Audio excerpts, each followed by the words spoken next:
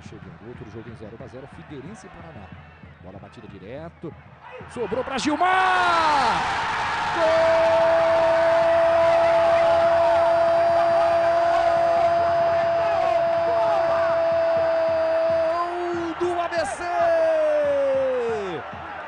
batida direto para dentro da grande área. Houve a sobra, Gilmar faz a festa do torcedor do Frasqueira. Veja de novo o levantamento vem.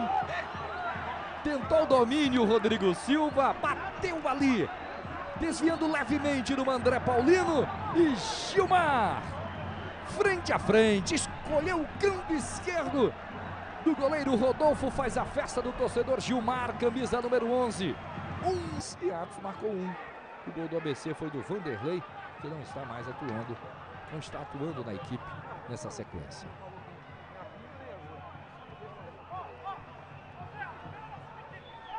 Portanto, a Chapecoense aplicou uma goleada do ABC no jogo de ida. Marcelo Valeri muito bem no seu mando do campo. Em Chapecó. Giovanni Augusto na frente. Rodrigo Silva no toquinho. Se livrou bem da marcação ali.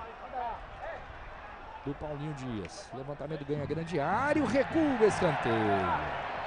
O André Paulino tentou de cabeça recuar para, para o Juliano. Aí ele vai retornando para o gol. Ainda se esforçou muito. Vamos ver de novo, lance curioso. Olha só, tranquilidade, né? É, que nada.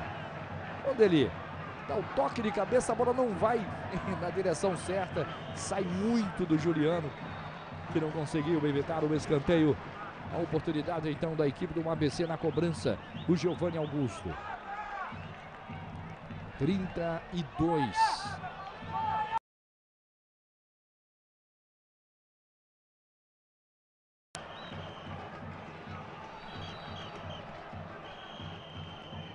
Cobrança do escanteio para a grande área. Rodrigo Silva! Gol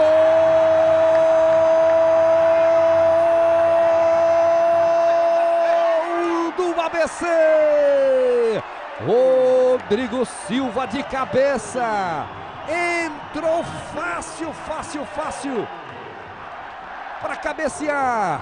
Ninguém subiu. Rodrigo Silva, camisa número 9 faz dois para a equipe do ABC. Vamos ver de novo a movimentação do atacante. O Rafael Lima não chegou o suficiente. Rodrigo Silva praticamente se abaixou para fazer o gol. Dois para o ABC, zero para a equipe da Chapecoense.